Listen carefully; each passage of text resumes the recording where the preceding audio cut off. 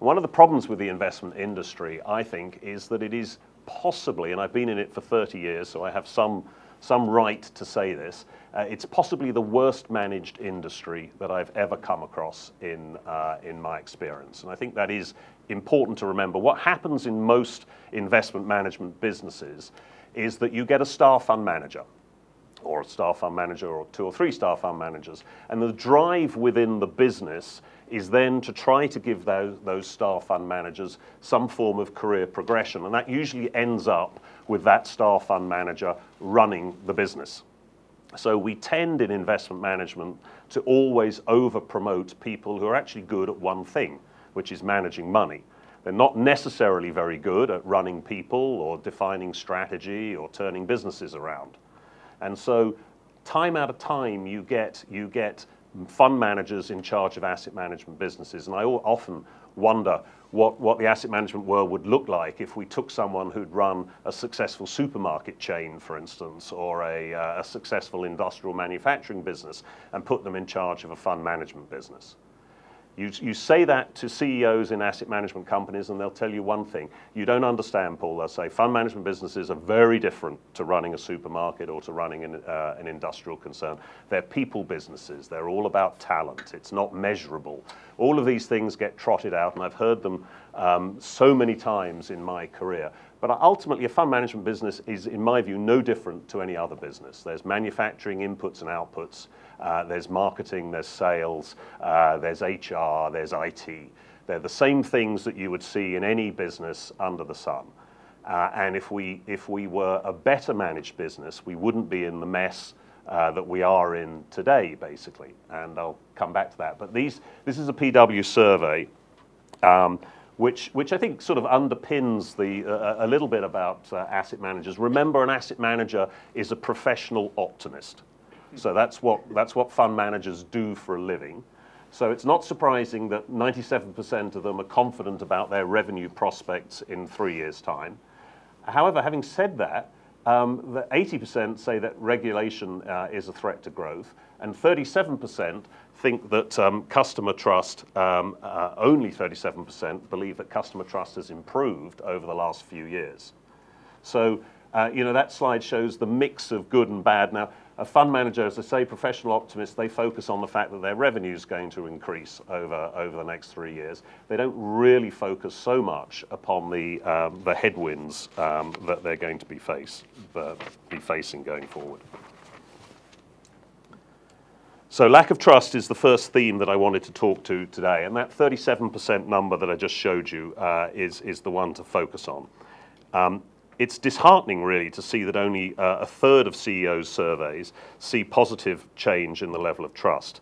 Um, but we're not particularly surprised to see that.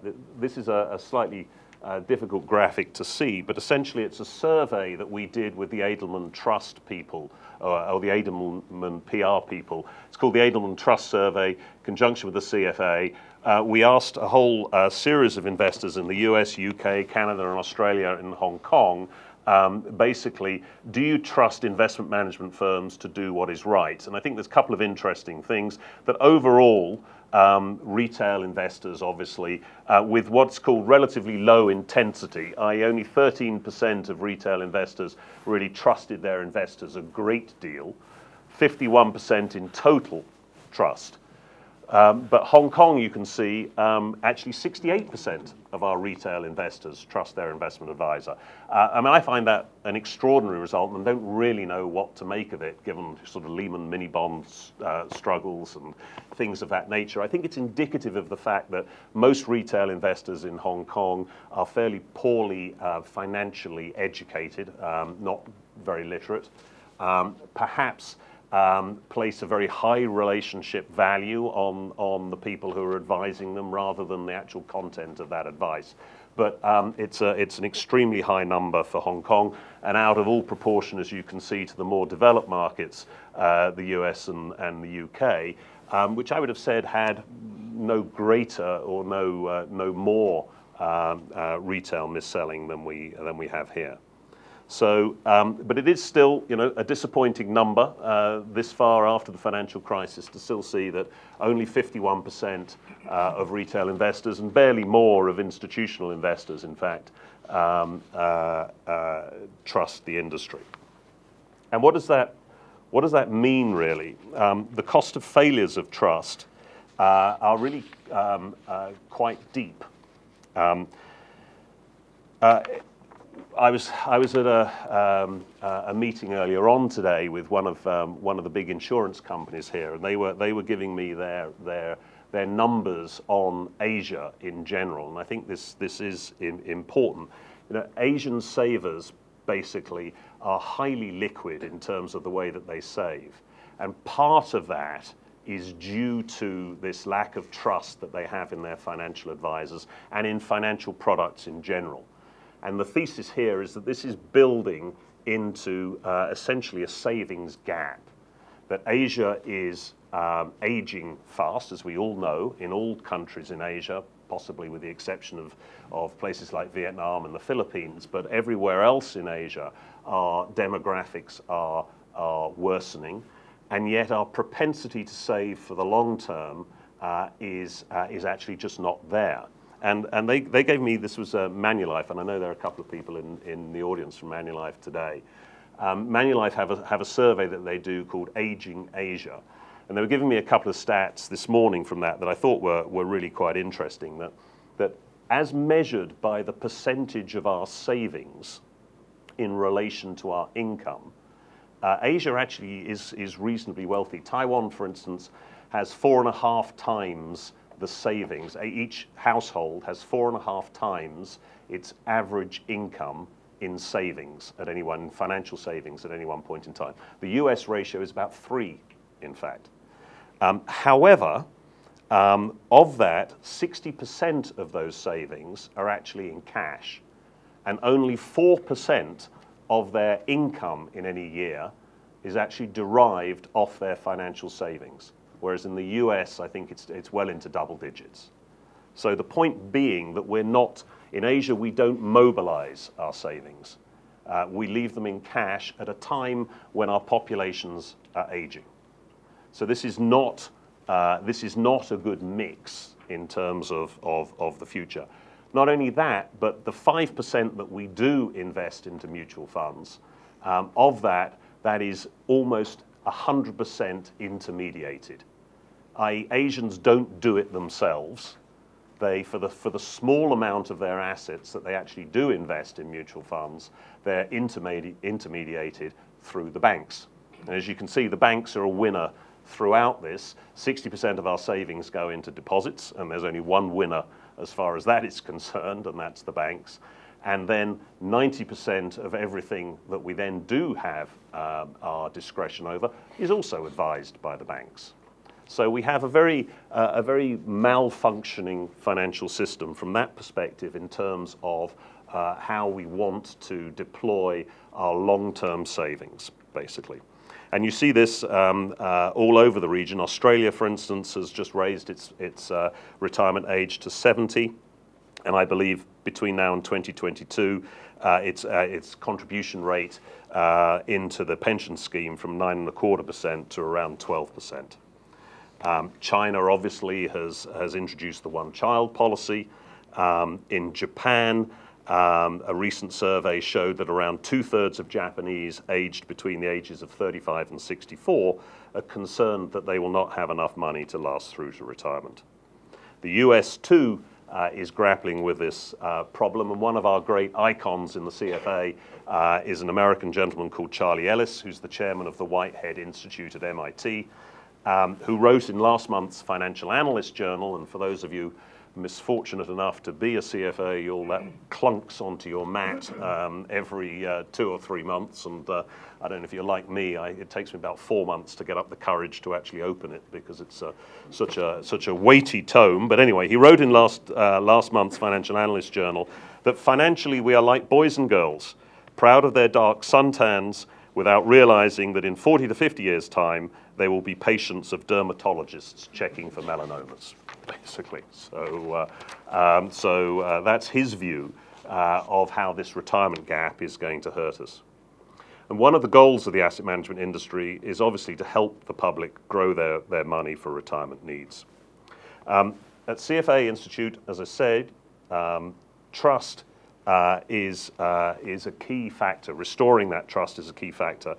Um, and this is another slide from the survey. And I think what, what's important here is, is that um, the actions that we need to do to restore trust, as, as uh, told to us by investors, uh, only the fourth one is actually about financial return.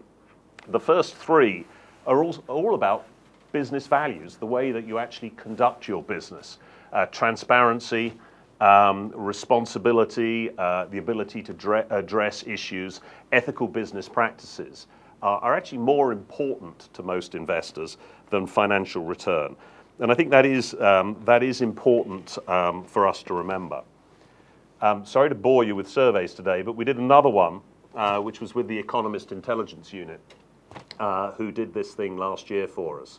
Um, and so this, this, is some good news. 67% um, of firms um, have actually said that they are uh, uh, raising the awareness of, of, of, ethical conduct by their employees, uh, and 63% um, uh, strengthened their formal code of conduct.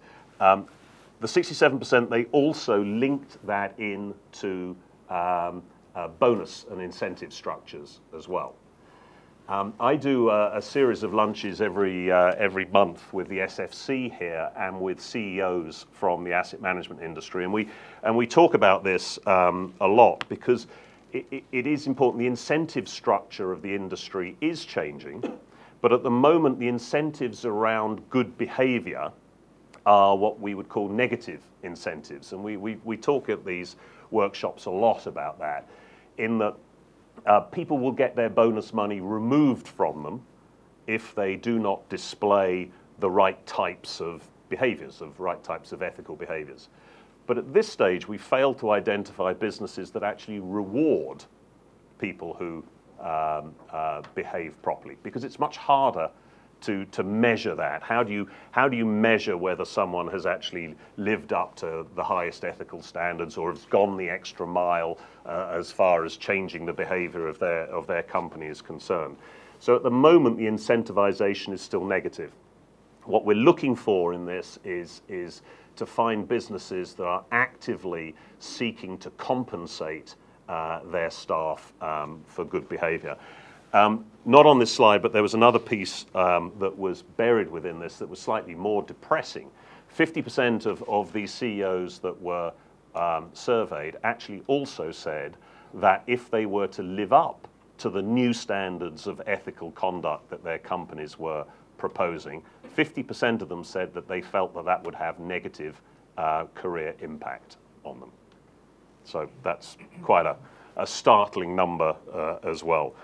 And I think the other thing, um, the other thing to remember around this is that um, um, you know, we do, we do try and have whistleblowing regimes. We have one within the CFA. In fact, if you wish to maintain your charter, uh, you have to you have an obligation um, to call out bad behavior. And the SEC in the US now financially incentivizes people to do that as well. But you know, whistleblowers still, it's a, it's a very unfortunate term. I wish we could think of something better because it has such negative connotations uh, as, as a phrase in English. But, you know, so many whistleblowers, as soon as they've blown the whistle, are forced to move on. It's a bit like sexual harassment in the workplace. It's the victim who ends up um, being moved on, having to move job, etc. And, and that's the case too with whistleblowers.